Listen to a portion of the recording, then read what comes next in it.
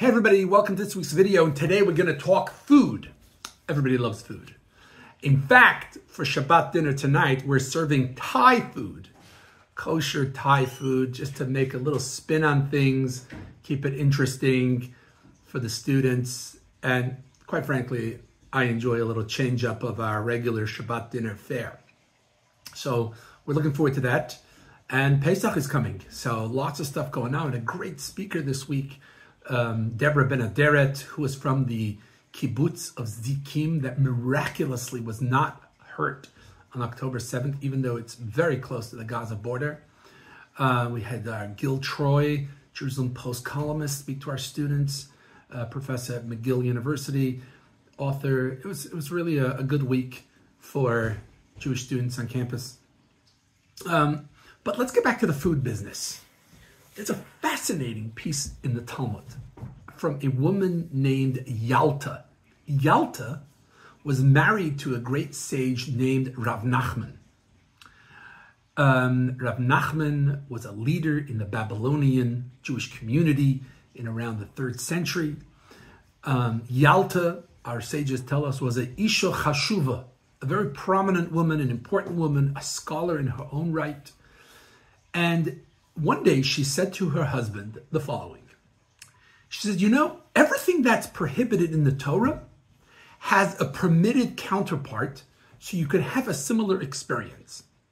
And she gave some examples. For example, the Torah prohibits the fats of certain animals, domesticated animals, fat of a cow, sheep, goat. But the Torah permits us to eat the fat of, let's say, undomesticated animals like a bison or giraffe or deer. Okay. Another example the Torah forbids us to eat the meat that contains blood, but the liver is permitted. And even though you have to kosher the liver, it still has the taste from the very bloody organ that it is. And then he gives us another example. Torah, she says to her husband, you know, the Torah prohibits us from eating pork, but the Torah permits the brain of a shibuta. It's a certain type of fish. Fish, you can eat any component of the fish, even the blood of the fish. The Torah prohibits us from eating a giruta. I don't know what type of fish it is, but it's a certain type of non kosher fish, giruta in Aramaic. But you're allowed to eat the tongue of an ordinary fish, apparently, which has a similar taste. Okay, and she gives some other examples of uh, relationships and so on. and then she said to her husband, You know, I would love to eat a meat dish cooked in milk. What can I have that provides me that experience?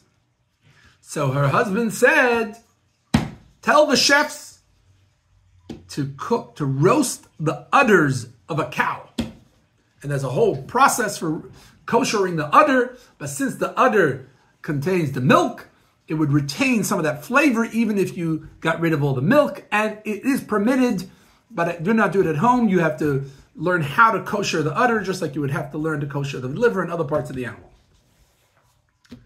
Very interesting.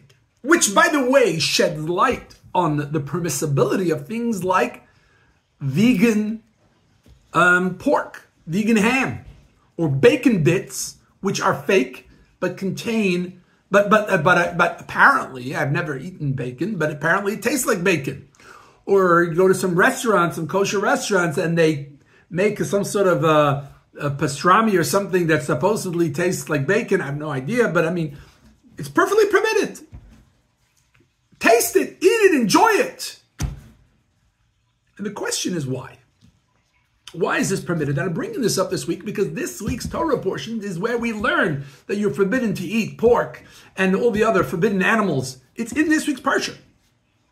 There's your Parsha connection. So on our Tuesday learning, we discussed this. And there's a beautiful teaching from the Shalah that I want to teach you. Rabbi Yeshaya Halevi Horowitz, 17th century scholar, this is absolutely beautiful teaching that he says in the name of his illustrious father, who was also a scholar in his own right. And he, he asks a question, says, why would the Talmud give us this whole story of Yalta. Oh, she likes this, she likes that. I mean, you know, it's like, it seems silly. So he says it touches on an interesting question. So let's let's take the archetype of the, the you know the typical non-kosher food. Let's say pork. Should I desire pork but not eat it because God said so in the Torah, or should I say, "Ah, it's disgusting. I don't want to touch it. I don't even want to look at it. Just make myself disgusted by it, so that I won't even desire it." The Torah forbids it. I don't even have a desire for it. So the Medrash tells us that Rabbi Shimon ben Gamliel, the first century scholar, says that better to desire it and want it and say, uh uh-uh, uh, I'm not having it. God told me not to. I would love to have it. I would absolutely love to indulge in a good ham sandwich. But my Father in heaven decreed upon me that I should not have it. This is the Midrash. So the Shalah's father says, wait a second. If you've never tasted it, how are you going to want it? You cannot want what you've never had, what you've never tasted, what you've never appreciated.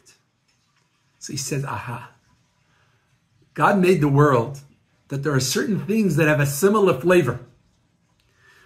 As Yalta observed, all these things that taste like the original prohibited item so that I could develop a desire for it and then resist because Hashem told me.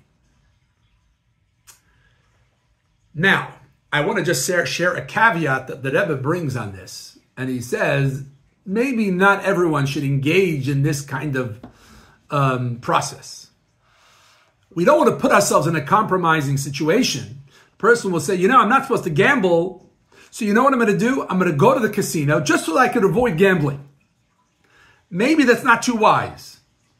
I'm not supposed to eat non-kosher food. So, you know, I'm going to go to the non-kosher restaurant, sit over there, and then walk out. Okay, so that, that may not be so smart. But to develop a taste using a permitted, a perfectly permitted thing, so that I can have an appreciation for what I'm resisting is, is something valuable.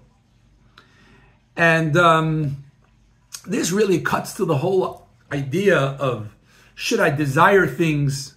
How do I control myself? Self control. Should I be disgusted or should I really want it? But then use my self control muscle, which is probably the most valuable in our lives. Anyway, there's more to think about this. I'd love to hear your thoughts and comments.